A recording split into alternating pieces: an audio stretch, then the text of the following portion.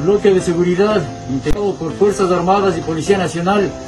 integrado en unidades de inteligencia militar y policial, han dado un duro golpe a la organización de los choneros en el cantón El Carmen,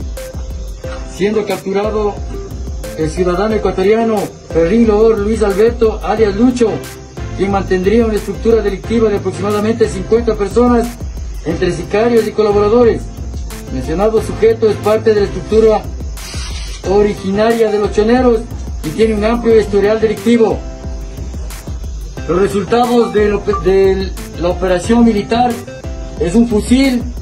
tres escopetas, dos granadas de mano tipo limón, tres pistolas y munición que al momento está siendo cuantificada.